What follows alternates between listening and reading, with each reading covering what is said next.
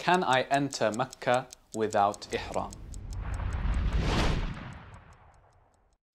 So to answer this question, it really comes down to what your intention is. So we'll start with the obvious one. If your intention was to perform Umrah, then of course you need to have your ihram on before entering Mecca and that is something that has been discussed in some of our other videos. But when we talk about a general intention, just to visit Mecca, you may be a citizen uh, within Saudi, right? You may be someone who has family there. You may be someone who's there on a business trip. You may be someone who is visiting and has another reason. Now, must you be in a state of ihram just to enter Mecca and must you perform the Umrah?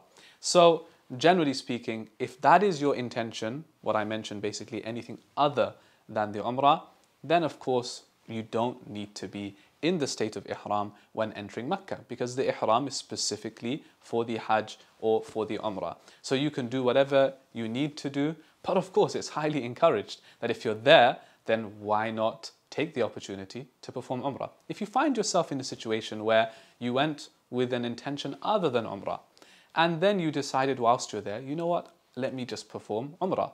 Then what you would need to do, you can't just now put on your ihram and go to the haram and perform Umrah. You would need to exit the boundary. You would need to go back to the miqat, right? There's a masjid, in fact, on the outskirts, It's a small village known as Tan'im, where you can go there, get a taxi there, and put on your ihram, make the niyyah intention, and then come back into Mecca. That's what you would need to do if you were not in the state of ihram.